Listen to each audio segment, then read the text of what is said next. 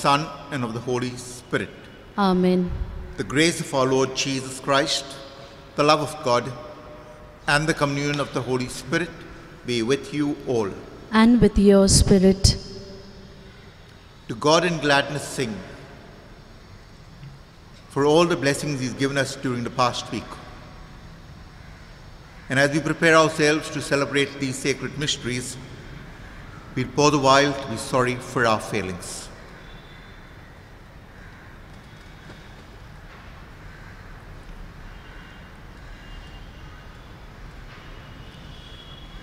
You were sent to heal the contrite. Lord, have mercy. Lord, have mercy. You came to call sinners. Christ, have mercy. Christ, have mercy. You plead for us at the right hand of the Father. Lord, have mercy. Lord, have mercy.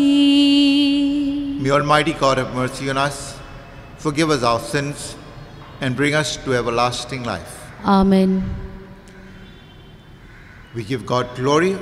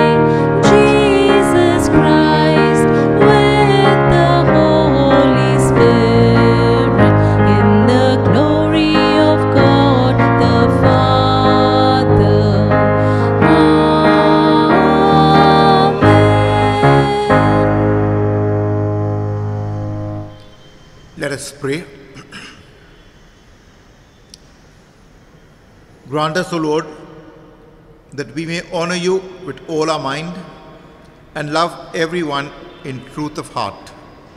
Through our Lord Jesus Christ, your Son, who lives and reigns with you in the unity of the Holy Spirit, one God, forever and ever. Amen.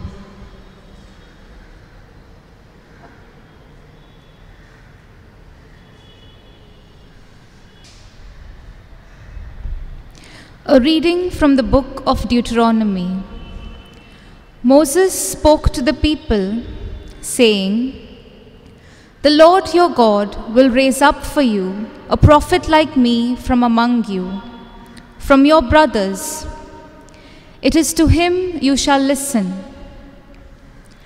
Just as you desired of the Lord your God at Horeb, on the day of the assembly, when you said, Let me not hear again the voice of the Lord my God or see this great fire any more, lest I die.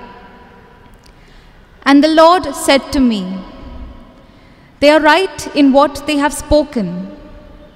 I will raise up for them a prophet like you from among their brothers. And I will put my words in his mouth, and he shall speak to them all that I command him. And whoever will not listen to my words that he shall speak in my name, I myself will require it of him. But the prophet who presumes to speak a word in my name that I have not commanded him to speak, or who speaks in the name of other gods, that same prophet shall die. The word of the Lord. Thanks be to God. Our response is, Oh, that today you would listen to his voice, harden not your hearts. Oh, oh that today you would listen to his voice, harden not your hearts. Come, let us ring out our joy to the Lord. Hail the rock who saves us.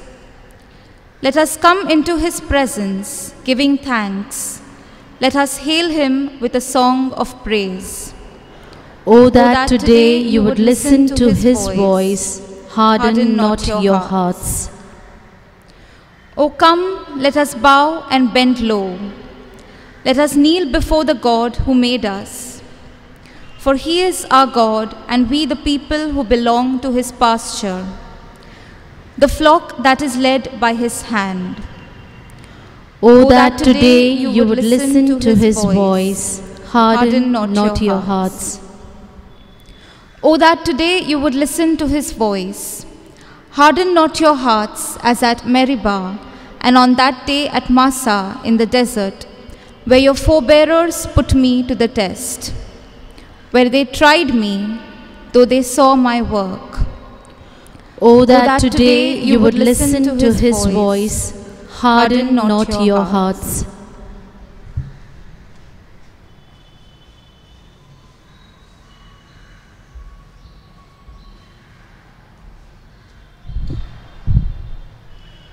A reading from the first letter of St. Paul to the Corinthians.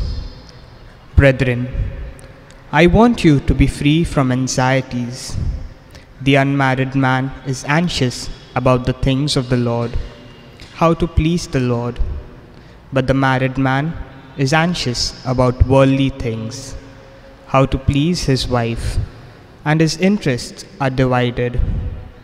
And the unmarried woman or virgin woman is anxious about the things of the Lord, how to be holy in body and spirit. But the married woman is anxious about worldly things, how to please her husband. I say this for your own benefit, not to lay any restraint upon you, but to promote good order, and to secure your undivided devotion to the Lord. The word of the Lord. Thanks be to God.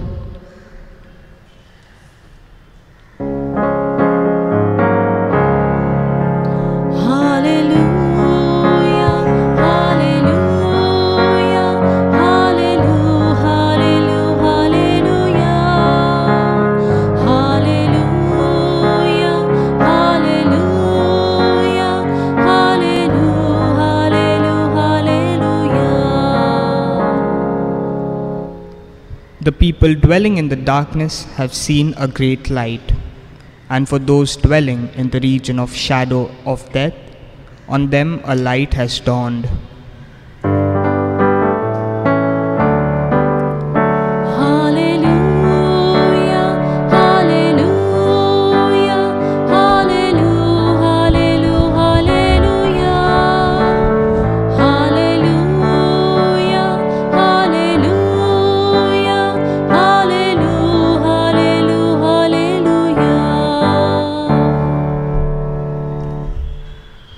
The Lord be with you. And with your spirit, A reading from the Holy Gospel according to Mark. glory to you, O Lord. On the Sabbath, Jesus entered the synagogue and was teaching. And they were astonished at his teaching, for he taught them as one who had authority, and not as the scribes. And immediately there was in their synagogue a man with an unclean spirit. And he cried out, What have you to do with us, Jesus of Nazareth? Have you come to destroy us? I know who you are, the Holy One of God. But Jesus rebuked him, saying, Be silent, come out of him. And the unclean spirit, convulsing him and crying out with a loud voice, came out of him. And they were all amazed, so that they questioned among themselves, saying, What is this? A new teaching with authority? He commands even unclean spirits, and they obey him. And at once his fame spread everywhere, throughout all the surrounding region of Galilee.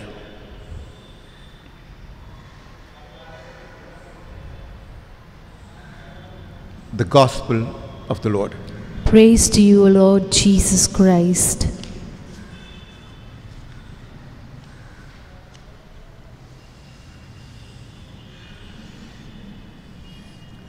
In today's first reading from the book of Deuteronomy, chapter 18, verse 18, God says to Moses, and I quote, I will raise up for them a prophet like you from among their brethren, and I will put my words in his mouth, and he shall speak to them all that I command him. End of quote. This prophet that is spoken of in Deuteronomy is none other than Jesus Christ. Because today's gospel from, from Luke chapter 1 verse 21 talks about Jesus and his teaching.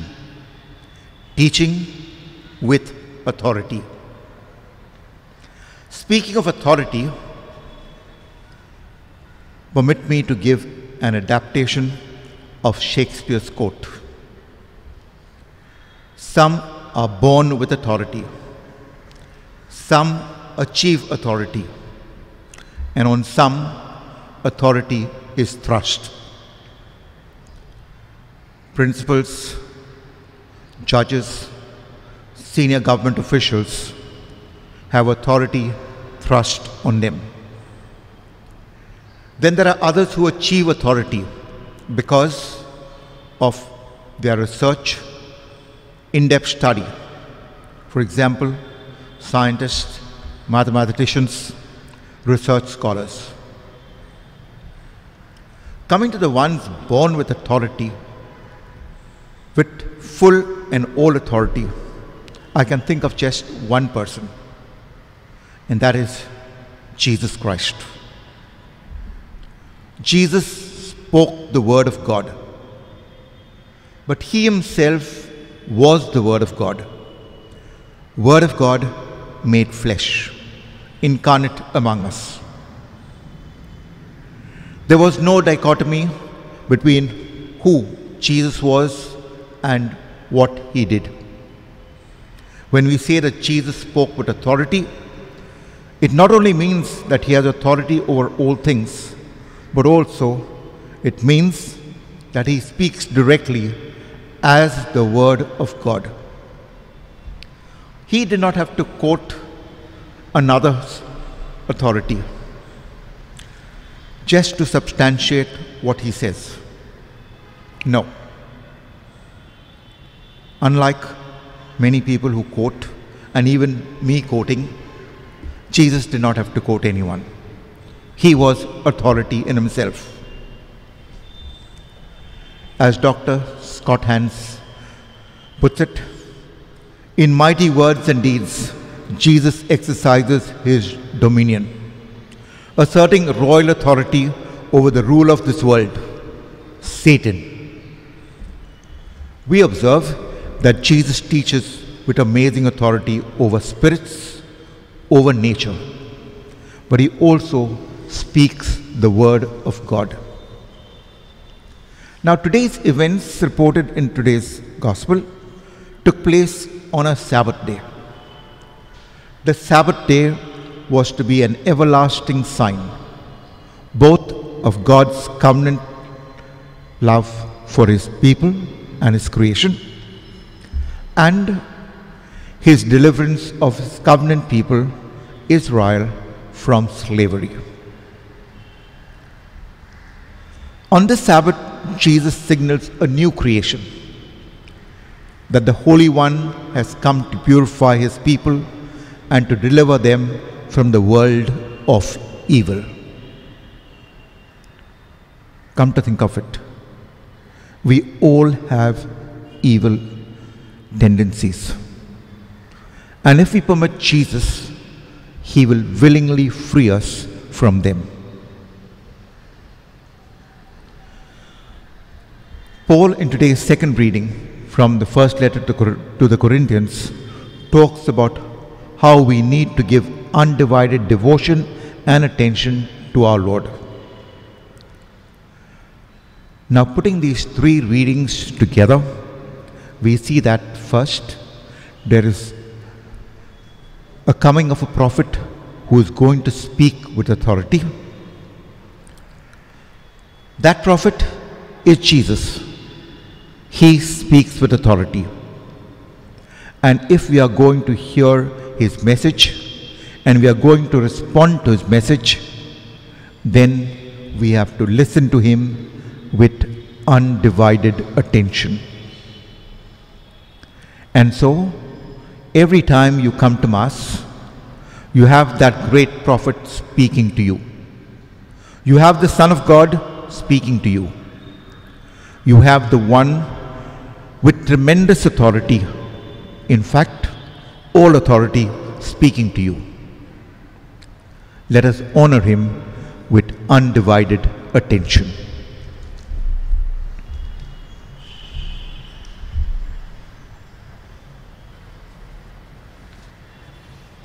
We will now profess our faith.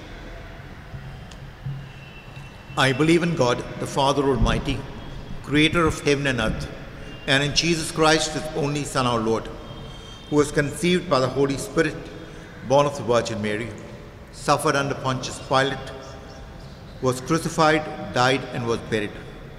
He descended into hell. On the third day, he rose again from the dead. He ascended into heaven and is seated at the right hand of God the Father Almighty. From there, he will come to judge the living and the dead. I believe in the Holy Spirit, the Holy Catholic Church, the communion of saints, the forgiveness of sins, the resurrection of the body, and life everlasting. Amen. We will now place our petitions. Our response is, Lord, hear our prayer. Altogether, Lord, hear our prayer. For our Pope Francis, bishops, priests, and all religious, that they may continue to proclaim with authority the values of the gospel through their words and actions. Let us pray to the Lord. Lord, hear our prayer. For world leaders, that they may work together to root out evil and plant good instead. Let us pray to the Lord. Lord, hear our prayer. For all the people in the world yearning for physical, emotional, and mental healing, that they may be freed of their fears and anxieties and healed through God's mercy and compassion. Let us pray to the Lord. Lord, hear our prayer. For all of us, that as faithful witnesses of Christ, we may be empowered to live our lives according to God's will. Let us pray to the Lord. Lord, hear our prayer. We pray for our personal needs.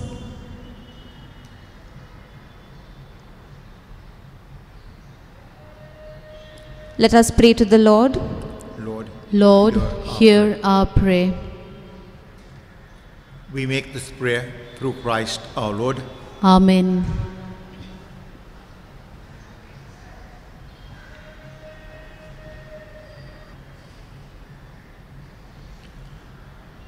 Blessed are you, Lord, God of all creation, For through your goodness we have received this bread we offer, fruit of the earth and work of human hands. It will become for us the bread of life. Blessed be God forever.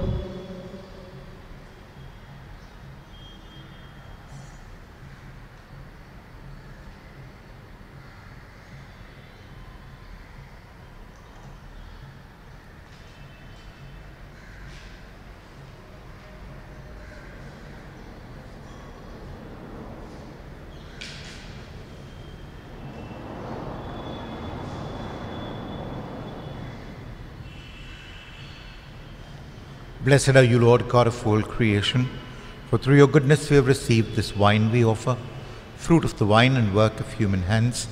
It will become for us our spiritual drink. Blessed be God forever. We offer you humble and contrite hearts.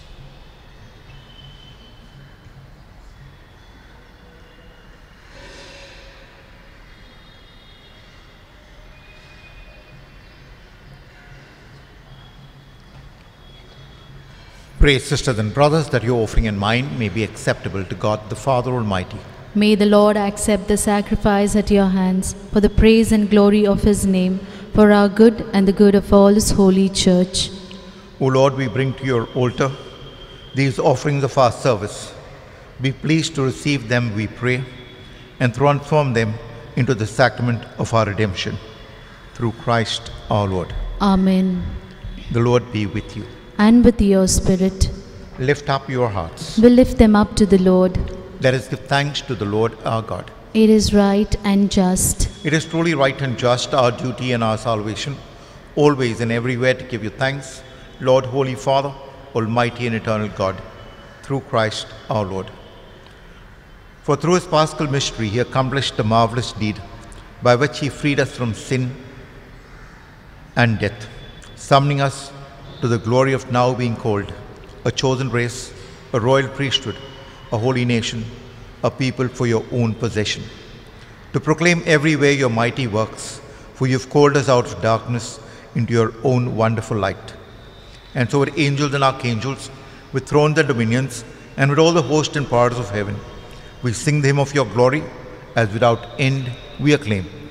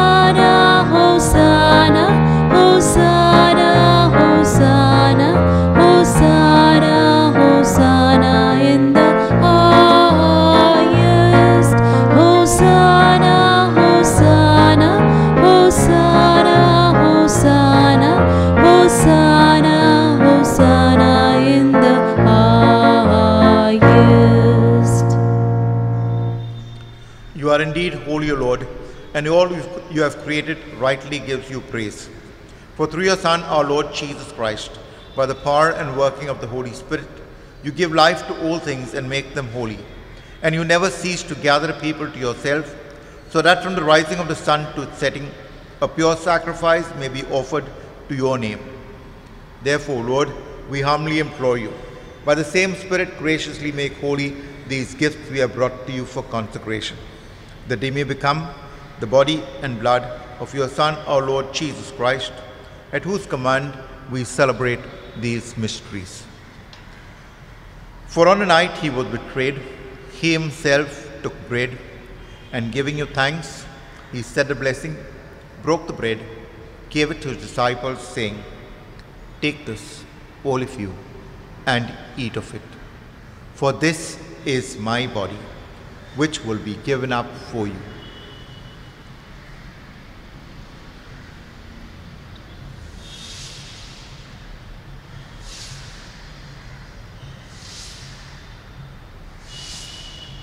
In a similar way, when supper was ended, he took the chalice, and once more giving thanks, gave it to his disciples, saying, Take this, all of you, and drink from it. For this is the chalice of my blood, the blood of the new and eternal covenant, which will be poured out for you and for many for the forgiveness of sins. Do this in memory of me.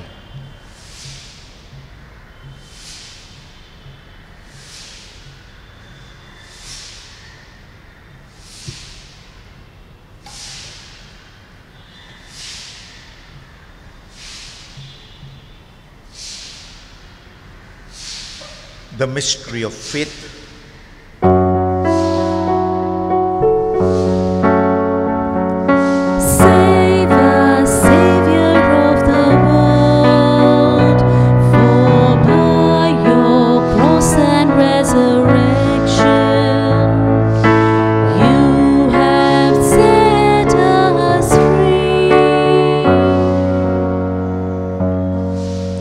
Therefore, Lord, as we celebrate the memorial of the saving passion of your Son, his wondrous resurrection and ascension into heaven, and as we look forward to his second coming, we offer you in thanksgiving this holy and living sacrifice.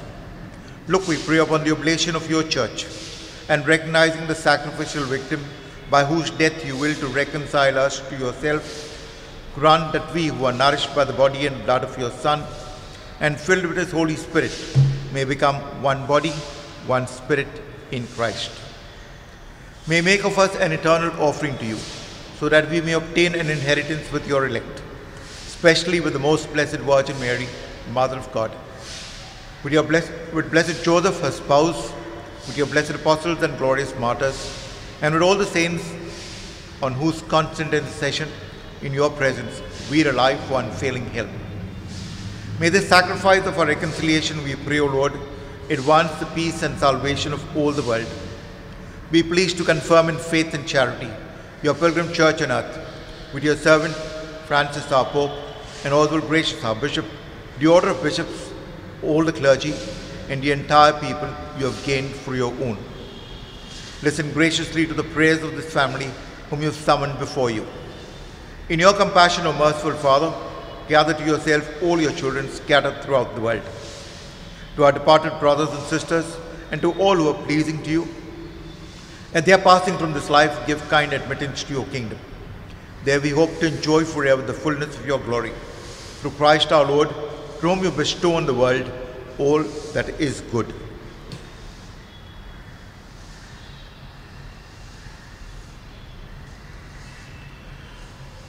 Through him and with him and in him, O God Almighty Father, in the unity of the Holy Spirit, all glory and honor is yours forever and ever.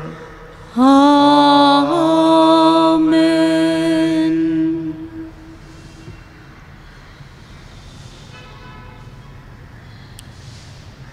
At the Saviour's command and formed by divine teaching, we dare to say, Our Father, who art in heaven, hallowed be thy name.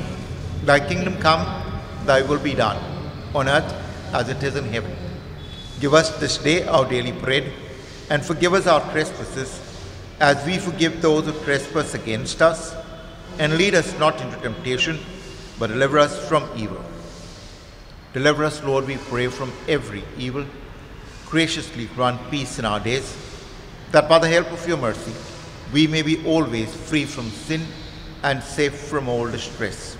As we await the blessed hope in the coming of our Savior, Jesus Christ. For the kingdom, the power, and the glory are yours, now and forever. Lord Jesus Christ, you said to your apostles, Peace I leave you, my peace I give you. Look not on our sins, but on the faith of your church, and graciously grant us peace and unity in accordance with your will, who lives and reigns forever and ever. Amen. The peace of the Lord be with you always. And with your spirit. Let us offer each other a sign of peace.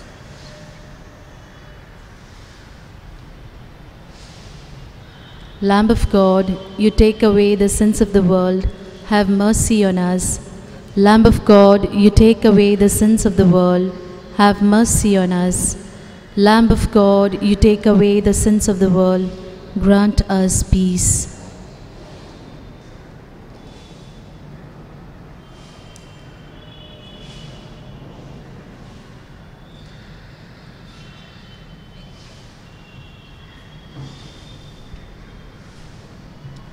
Behold the Lamb of God. Behold him who takes away the sin of the world. Blessed are those called to the supper of the Lamb. Lord, Lord, I'm not worthy that you should enter under my roof, but only say the word, and my soul shall be healed.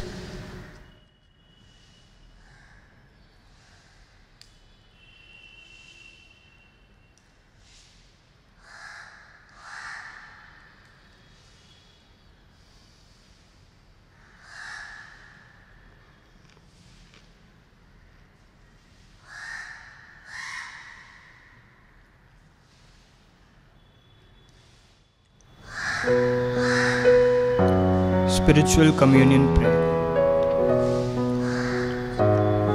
O Lord Jesus, since I cannot now receive you in your sacramental presence, I beg you to come spiritually into my soul, to enrich me with your holy grace, and make me truly your own forever.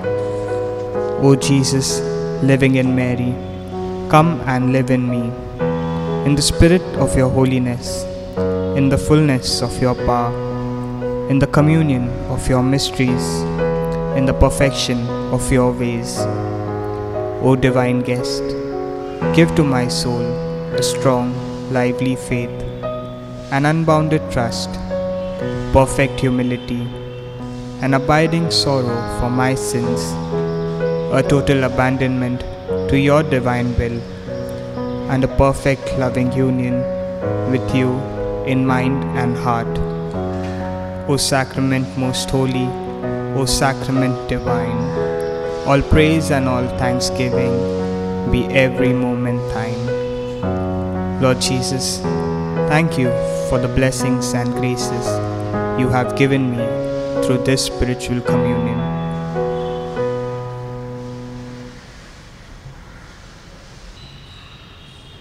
Let us pray. Nourished by these redeeming gifts, we pray, O Lord, that through this help to eternal salvation, true faith may ever increase through Christ our Lord. Amen.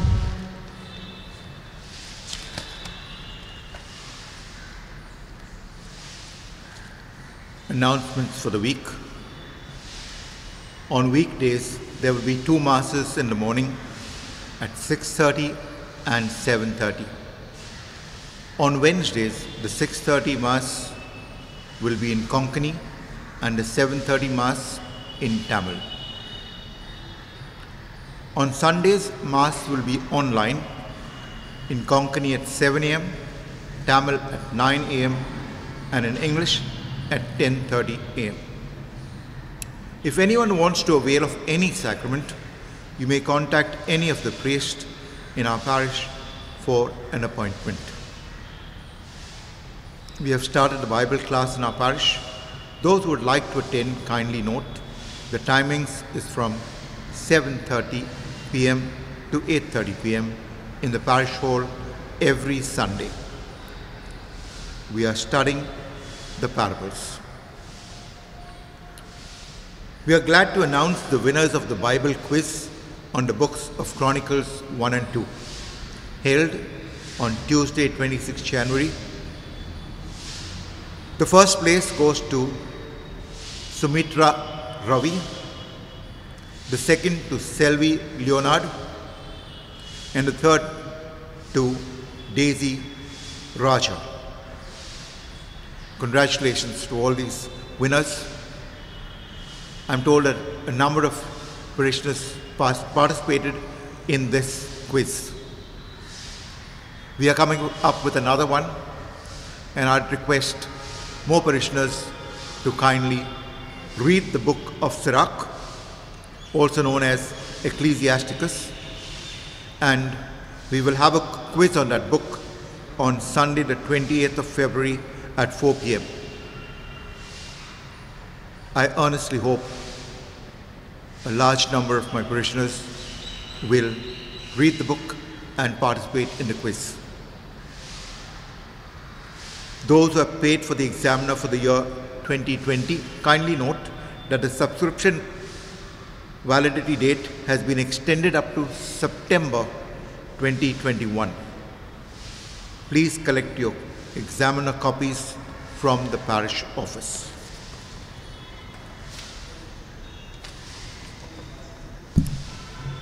The Lord be with you, And with your spirit. and may Almighty God bless you, Father, the Son, and the Holy Spirit. Amen. Go in the peace and joy of Christ. Thanks be to God. Saint Michael the Archangel, defend us on the day of battle. Be our safeguard against the wickedness and snares of the devil. May God rebuke him, we humbly pray. And do thou, Prince of the heavenly host, by the power of God, cast into hell Satan and all the other evil spirits who prowl through the world, seeking the ruin of souls. Amen. Saint Michael, Pray for us.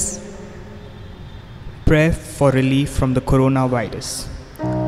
Almighty and merciful God, who show your love to all creation everywhere, hear graciously the prayers we make for all those affected by the coronavirus in various parts of the world. We come before you asking for an efficacious control of the outbreak, for healing of those affected, for the victims and their families.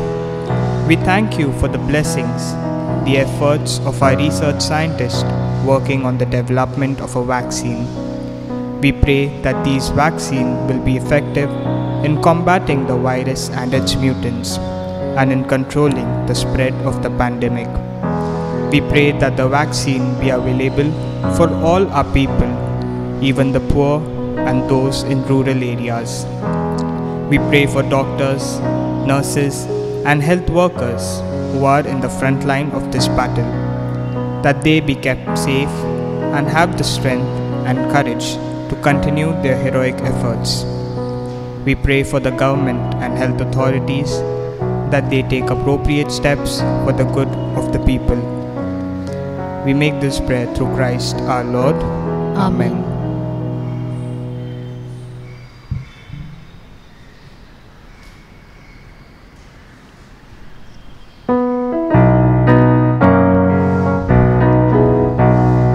Lightened by